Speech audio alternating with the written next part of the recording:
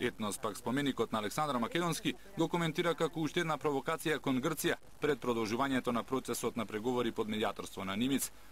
Називите на аеродромот, градскиот стадион во Скопје и коридорот 10 ги разбранува и страстите во Македонија.